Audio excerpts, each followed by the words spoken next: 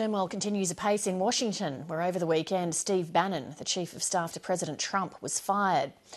Commentators don't quite know how to read the Trump administration, which is like nothing America's ever seen. Some people think maybe it'll be some sort of tipping point in politics. Glenn Greenwald has been one of the most prominent American journalists of the past two decades, achieving global fame by publishing the massive national security leaks by former US government official Edward Snowden. He joined me in Sydney earlier. Glenn, nice to have you in. Great to be with you. There's been a lot of talk in recent times that we live in a post truth world. And the President of the United States, as we know, openly traffics in exaggeration and outright lies. Do the facts matter to people less than they used to? I'm not sure about that. Um, for one thing, I, I, think that the U.S. government and governments generally have a pretty well established tradition of lying. I don't think lying in government began when Donald Trump became president. Um, but I do think that you're correct that the internet and the age of digital media has enabled people to atomize and isolate into factions where you can only get information that is pleasing to you or affirms your preconceptions. And that I think does lend itself to falsehoods being able to take root much more potently than before.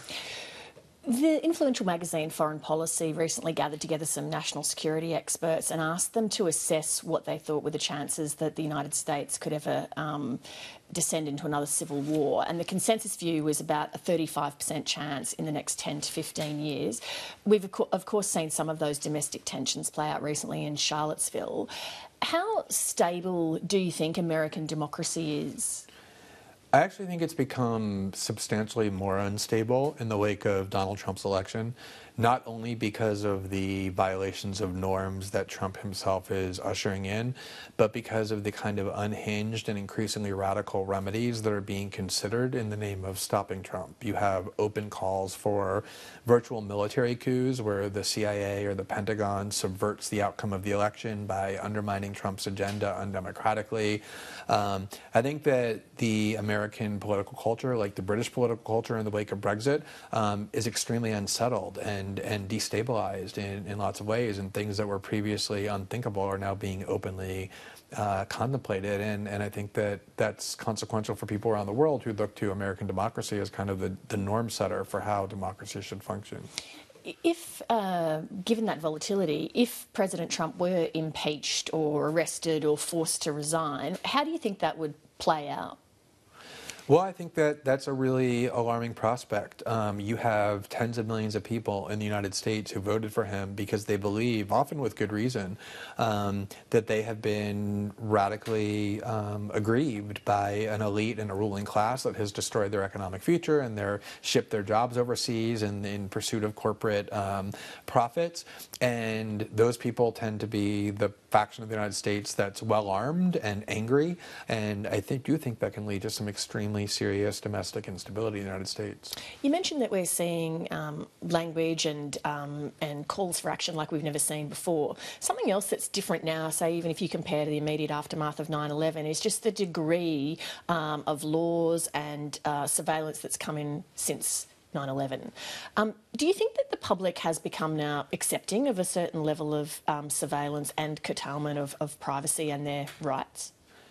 I think certainly that was true before we were able to reveal the extent of electronic surveillance through the Snowden reporting. Um, but I think that the debate that has ensued as a result of that reporting has, for example, pressured Silicon Valley companies to demonstrate that they're committed to protecting the privacy of their users in a way that has driven a wedge between technology companies and government. So the collaboration is not quite as great as before. At the same time, the ability of governments to wave the flag of ISIS and to invoke the specter of Al Qaeda has once again put people into this kind of irrational fear of terrorism where the risk that is posed to them is wildly inflated beyond what the evidence suggests it actually is. And that emotion is very strong, which is why it's so vulnerable to manipulation. And I think that has, in a lot of senses, um, regress the debate back to even where it was before the Snowden reporting, where people had the attitude that whatever the government needs to do, including reading my emails or listening to my calls in order to protect me from terrorism, I want them to do. And why do you think that's an invalid thought to have? Because people think, oh, well, I don't have anything to hide. What does it matter?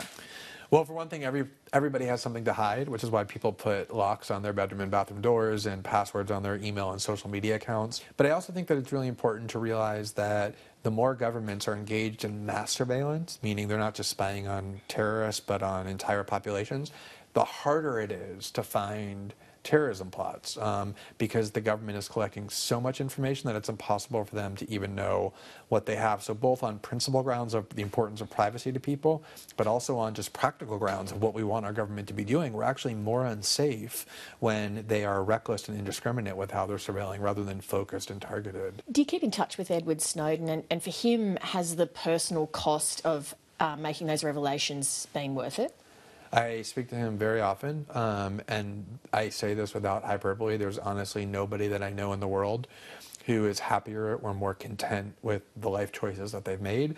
Um, he puts his head on his pillow every single night, uh, safe in the knowledge that confronted with what he perceived to be a serious injustice, he took the action that he was capable of taking to confront it and to fight against it, even if it meant putting himself at great risk. Do you think he's safe where he is?